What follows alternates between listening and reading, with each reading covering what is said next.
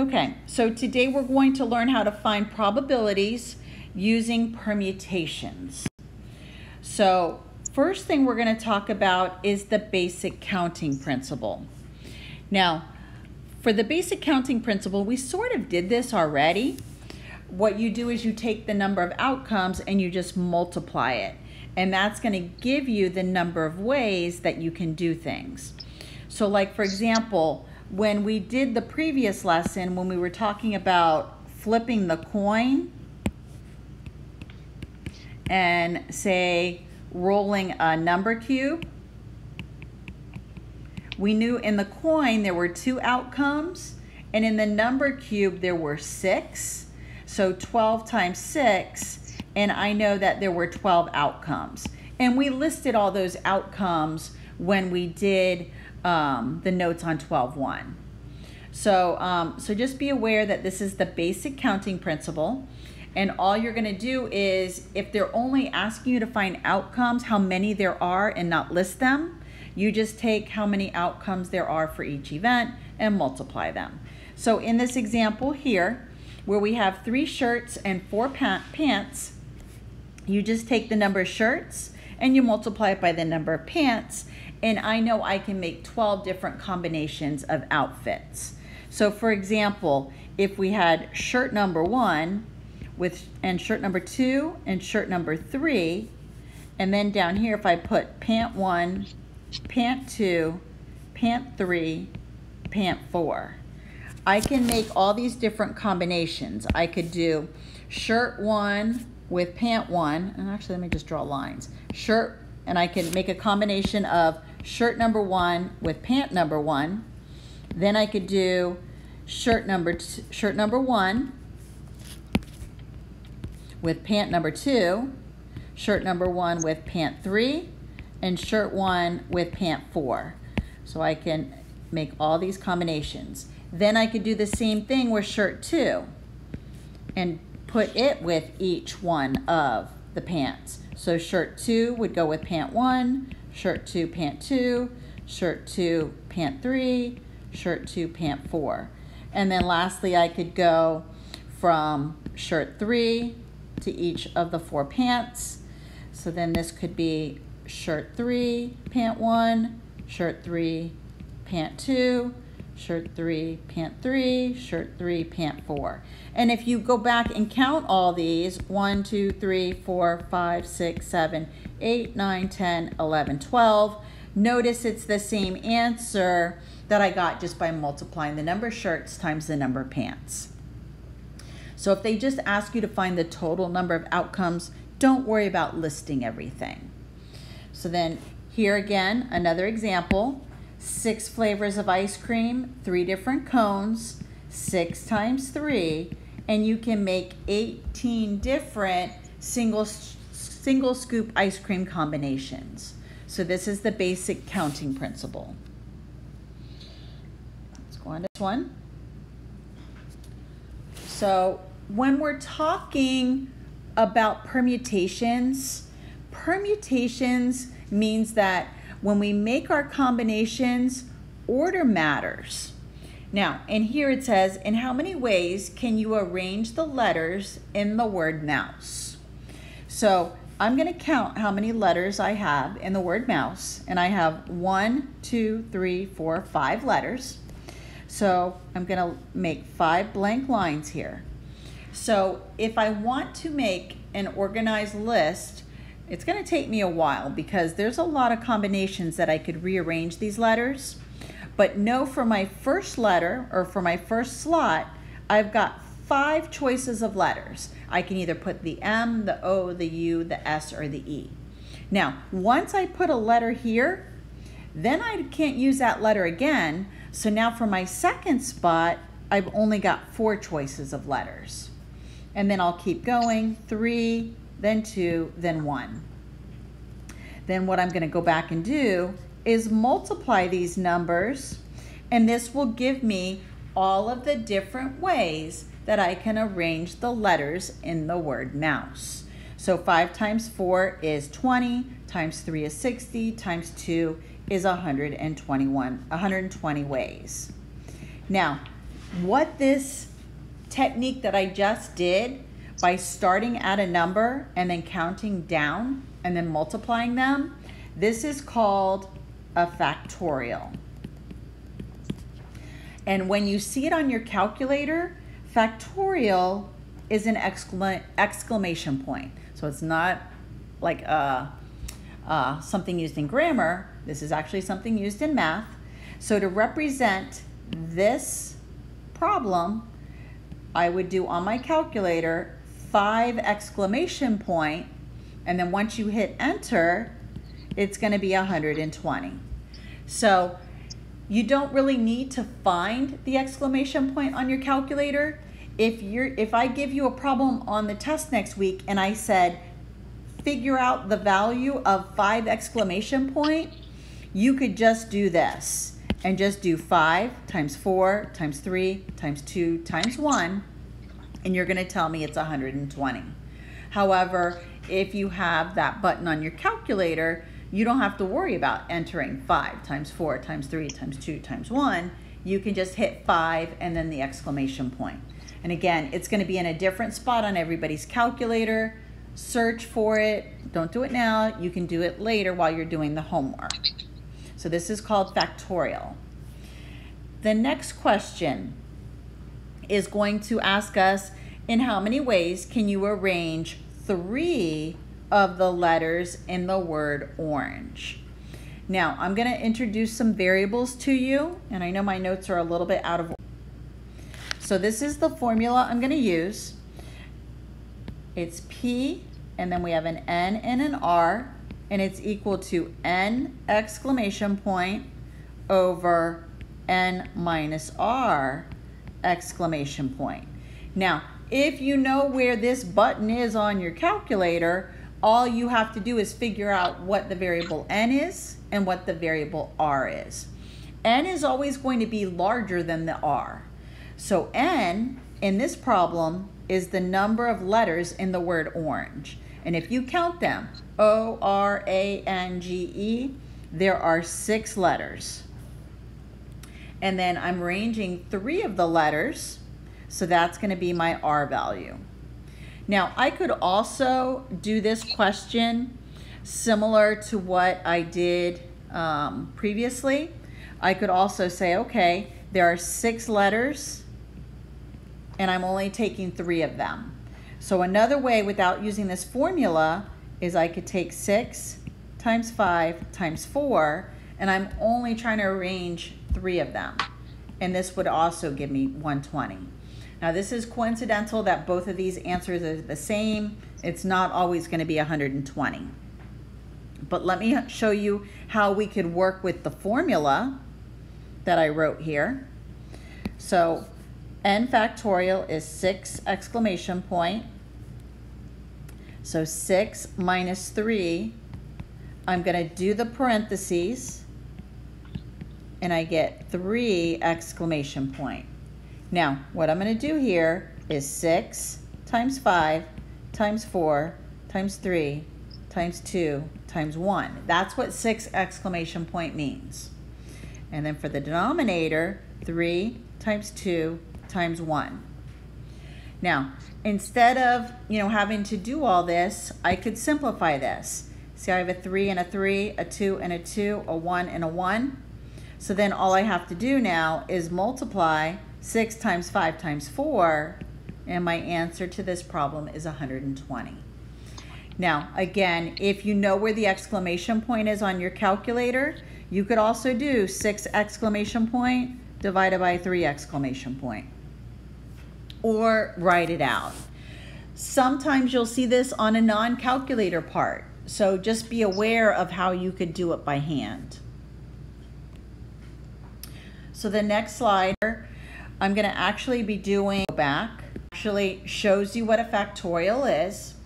So again, whatever number you have that's in front of an exclamation point, what that means is you do like a countdown. So for example, if I have three exclamation point, this would really mean three times two times one. It's like a countdown. And then you multiply the three numbers. and you get 6. If I had 10 exclamation point. Now, this is where if they ask you to find the factorial of a really big number, then using the button would be a lot faster than having to do on your calculator 10 times 9 times 8 times 7 times 6 times 5 times 4 times 3 times 2 times 1 hit enter and you get this really big number. 3,628,800 so if you know where this exclamation point is on your calculator you can get away with just entering the number 10 hitting the exclamation point and it'll go right to this answer. However, if your calculator does not have the factorial button, then you would have to key all of this in.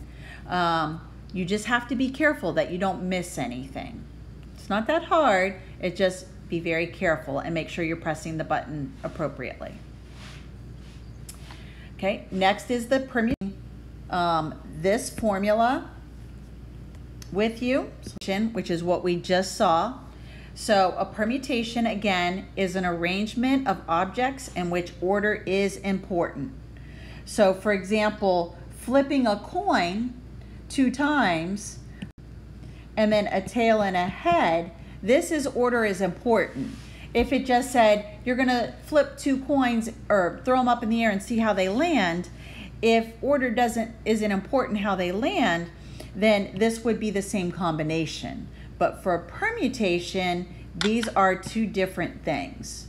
So you would flip the first coin, write down what you get, flip the second coin, write down what you would get. So permutation is when order is important. So um, the number of permutations of n objects is given by this. Again, that would be like arranging the letters in the word mouse. You, it, they're not asking you to take maybe only two at a time. If they ask you to rearrange everything, then it's just the factorial. Now, if they're asking you to rearrange only part of what you have, then you would use this formula with the n and the r. So again, an example of this, let's say I tell you you have five objects. Let's say we have five trophies and we're gonna arrange them on a shelf. However, we don't wanna arrange all five, we only want to put and display two at a time. So the 5 is my N and the 2 is my R. So what we'll do here is P and then 5 and 2. And again, we're going to do the formula. 5 exclamation point, 5 minus 2 exclamation point, so this becomes 5 exclamation point over 3. Again, if you're not using your calculator, expand it out. Now what I'm going to do is I'm going to just stop the 3 there. Actually, I'll just show the whole thing. Times 2 times 1. And then over here, 3 times 2 times 1. Notice these will cancel out. And I'm just left with 5 times 4. And I could take and arrange two. Yes. We can't we can't see it. Huh, okay.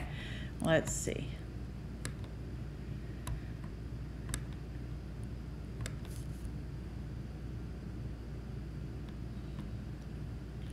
All right. Um, can you see it now? No. No. Hmm. All right. Let me. I'm gonna. Next example, your band has written 12 songs and plans to record nine of them for a CD. In how many ways can you arrange the songs on the CD? So for this one, the bigger number is always your N. So my N is going to be 12 and my R is 9. So again, I'm going to use the formula N factorial N minus R factorial. So 12 factorial over 12 minus 9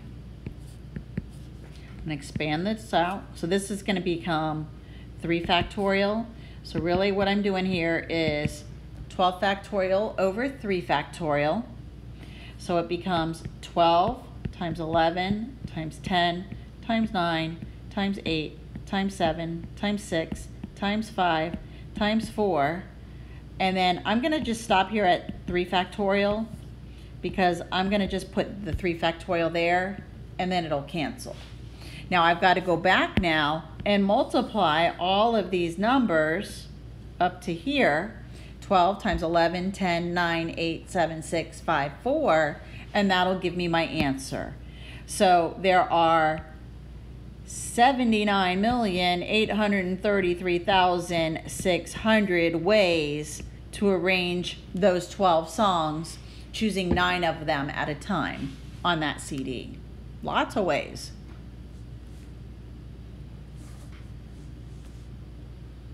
Okay, we have two more examples. Pretty good on example two. Try example three.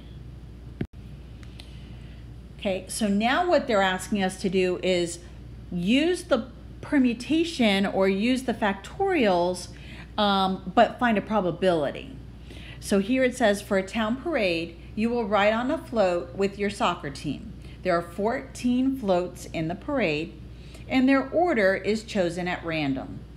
Find the probability that your float is first and the float with the school chorus is second.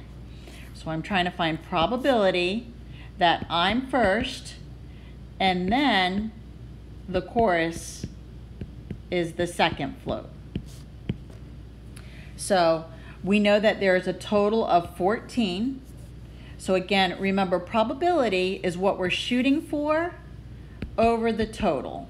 So we're shooting for this. So if I know that there were 14 floats and I know I'm taking out my float and the chorus, that's only going to leave 12 floats left. So 12 factorial over the total number of floats. So now I just do 12,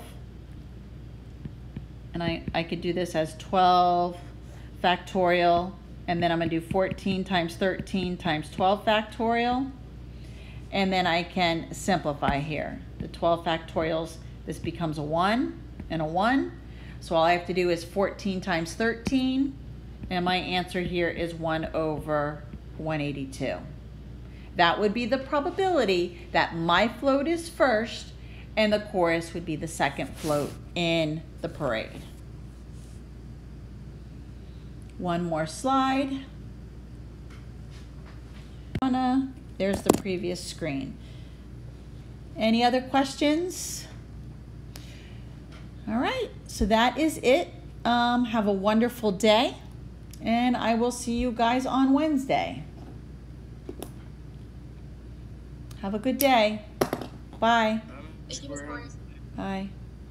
Bye, Miss Kori. Bye. Bye, Miss Kori. Bye. Brianna, you good?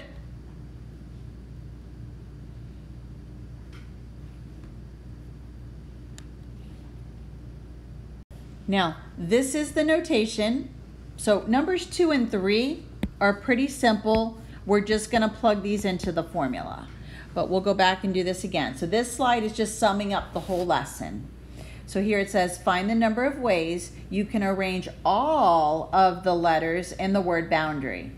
So when it asks you to arrange all of the letters, that's the factorial. So we're gonna count how many letters are in the word boundary, and there are eight. So for this part, for all the letters, we just do eight exclamation point. So you would be doing eight times seven times six times five times four times three times two times one, and this gives you 40,320.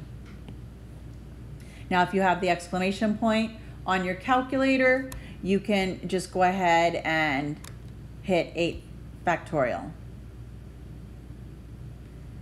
Okay. All right. And then now we also want to do take three of the letters of the word. So this is where we're going to do the formula. So we're going to do P and then 8 and a 3. So 8 exclamation point over 8 minus 3. So 8 exclamation point over 5. 8 times 7 times 6 times 5. And I'm gonna leave it as five exclamation point because I'm just gonna cancel that.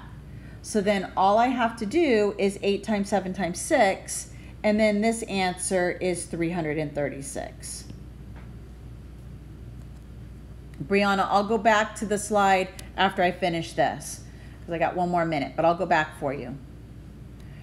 Okay, then now to evaluate number two, we're gonna do six exclamation point over six minus three.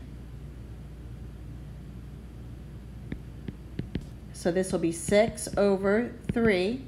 Six times five times four times three. Stop there, so the threes cancel.